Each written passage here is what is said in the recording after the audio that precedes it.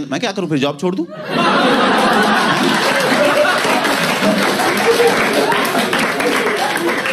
ये फालतू बातें क्यों बता रहे हो मुझे।